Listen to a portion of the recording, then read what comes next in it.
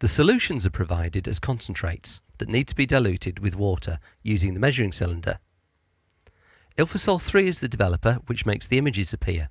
Measure 170 ml of concentrate into the measuring cylinder and make up to 1 litre with water. Then pour into the white dish.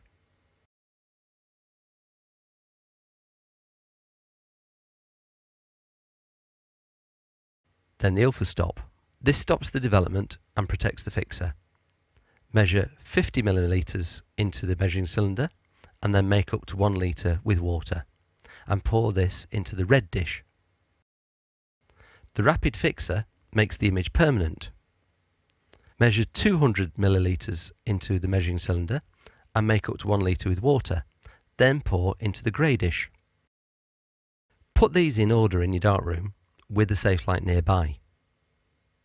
There are two sets of trays and two safe lights so that two groups of children can work at the same time.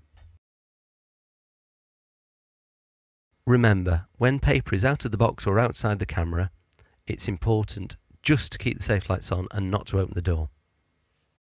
This video is one of a series of how-to videos showing how to use the Pinhole Educational Kit. For more details, visit the website.